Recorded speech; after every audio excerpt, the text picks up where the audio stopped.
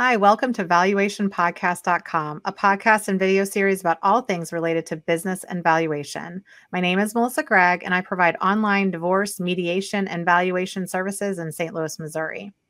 Today, we will discuss how exit planning is not what you think with Scott Snider. Scott is the president of Exit Planning Institute, EPI, and the operating partner of Snider Premier Growth, a small family investment company in Westlake, Ohio. This kind of goes towards like what what the marketplace needs and what the opportunities are out there. Mm. Is the reality is are they prepared to sell the I mean, even at that point, they have an active buyer that's willing to pay them what they want. Their their house is not in order. Everything is not cleaned up. And now they're doing it as a frenzy, right? And their right. books are not cleaned up. They're and when we say clean up the books, I mean like start to run like your business cleaner. Yeah. Yeah. Right. Exactly. But talk right. to us about the marketplace need and opportunity because maybe that's a little bit different than what we're envisioning it means. No, I think that uh, so right now, I guess generally the marketplace right now, I think is pretty hot, right? I was just mm-hmm. like not to set the tone for any business owner, so please don't take my advice as real as as what you're going to get. But a guy here in Cleveland just sold a non-medical home healthcare company for 20 times EBITDA. Yeah. So I think that right now the market's hot. However, if you're listening and saying, crap, I just heard Scott say that, I might want to think about going to market. I'm going to call my CPA or my attorney friend and see maybe if I could actually sell now because as a 60 year old, that might sound pretty good right now. But what you're going to find is that you're actually might be very attractive, but you're really not ready at all, right? It's all I always call it. It's like picture your favorite car. So I'm a car guy. Picture, say you have the brand new Mercedes Benz 2022, zero miles Let's on. Go this. like Maserati. Maserati, whatever your thing is, right? Whatever yeah. your thing is, you're looking at this and you're like, this thing looks beautiful. Say it's a hundred thousand dollar car. It's a big deal for you, bucket list kind of item. And you're like, okay, I'm definitely going to buy this thing. I just want to take it out for a ride. So you sit down, you hit the little push start button, and nothing even turns over. So you go in and pop the hood or pop the trunk if it's a rear engine, and you're like, this thing's not ready to be driven at all. There's no engine in it. So even though mm-hmm. it looked really cool, right? When I got into it, it wasn't very ready.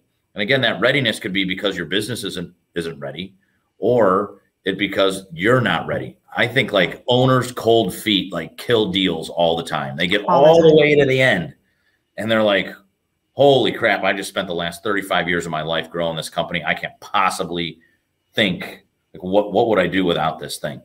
Um, and I think it goes back to some of the stuff we talked about too, or they say maybe I am a little bit ready, but I'm unsure and untrusting what this new company might do with my people, my customers, my culture, all this stuff. Mm-hmm. So, you know, I think that, you know, the market, marketplace and the opportunity question, I think that right now it's really hot. So if you are thinking about selling your business, you should probably start an exit planning journey, right. which typically takes three to five years.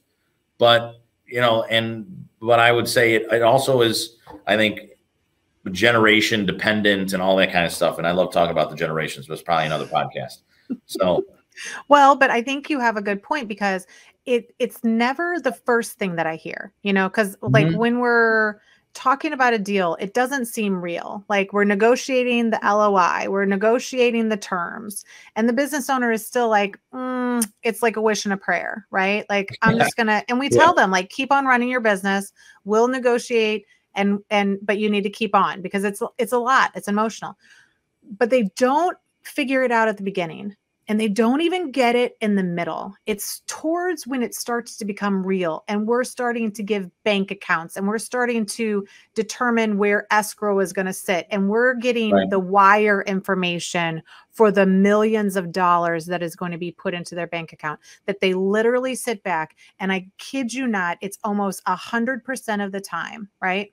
And they sure. sit back and they're like, Melissa, Scott, what am I going to do? Like even right. day one like week one and they literally go into this like sense of like they've never thought about it until here because they were running so fast running so fast running so fast that they're like I don't like everybody says I should go like drink margaritas on the beach, but like I don't even like sand. I don't even like warm yeah. weather, you know, like right, exactly. And well, they oh, do, yeah, they have this epiphany totally of like, agree. what do I do? Yeah. No, I totally agree. It's kind of like you know, like the typical owner that's going to go play golf, right? So you're playing golf, and and frankly, like I think most people are probably pretty average at golf. Like I can golf, but like after like pretty much hole ten, I'm kind of like okay, like I'm, I'm, like I'm so frustrated, you know, because I I was good all the way up to the hole, but can't putt for hell. So I you know I ended up you know getting a double bogey. Right. And that gets old after a while, right? And then, it, or also because it doesn't become very challenging. Right. So again, I think it's generation by generation. But if you're a baby boomer you're built, one of your key values or your core values is success. Mm-hmm. So whether that's being a good father, a good business owner, a good golfer, you have a sense of wanting to feel successful. So if you think you're just going to sit around and do nothing and sip margaritas or travel the world or play golf, that's going to get probably old pretty quick. It was mm-hmm. it's funny that you had talk about this though, because literally I was sitting with my operations manager and our, our one of our uh, lead strategists here, and they asked me, my my team here at EPI is relatively young. They said, Scott, but if you sold, like, if you could sell EPI, like, what would you do? Like, you're not even 40. I was like, funny that you should ask. And so, because trying to live my own methodology, I have a written personal vision that I'm trying to live into that goes till about 55 right now, 55 years old. So, but it's written. Uh, I wouldn't say I would probably rate myself low here. I, it's written but it's not thorough. But I mm-hmm. know I know the trajectory of what I want to do with the Exit Planning Institute, my business. I and I know what I would do after my business, at least till I'm 55. Mm-hmm. Um, and I have my passions kind of written out. And if you, the question, I think a lot of owners, to your point, that are spending a lot of time in their business, you know, if you didn't have your business to walk into 60 plus hours a week, what would you do with your time? Mm-hmm. I was on a call the other day with a an owner that actually came through our CEPA program because he wanted to learn about what it takes to buy and grow a company. Little did I know is that he did it because he had free time because he had just sold his. And he called me afterwards and he's like, Scott, I'd love to schedule like a half hour phone call. I was like, cool. And he's like, I'm actually a retired owner, basically an exited owner that took your program because I'm literally in this transition law thing right now. Right. He called me and it was nine in the morning. He called me and I he had the the typical, you know, break the ice chat that everybody, how's the weather? What are you doing? And he's like, and I don't know, maybe I, I maybe I had something interesting to say. I don't remember what I said. He's like, man, because but I do remember him saying, man, that's awesome. He's like, I'm literally in my basement alone. I'm divorced and I'm shooting pool. And I'm like, you're shooting, it's 9 a.m. You don't have anywhere to be, nothing to do. He's like, no, I'm freaking pulling my hair out, man.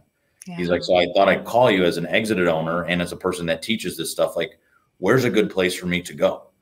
I mean, mm-hmm. and again, this is a guy that got like $50 million for his business. So what, after taxes and fees, call it 30. Mm-hmm. He's got mm-hmm. $30 million. This guy's in his like basketball shorts and crappy t-shirt playing pool in his basement all alone.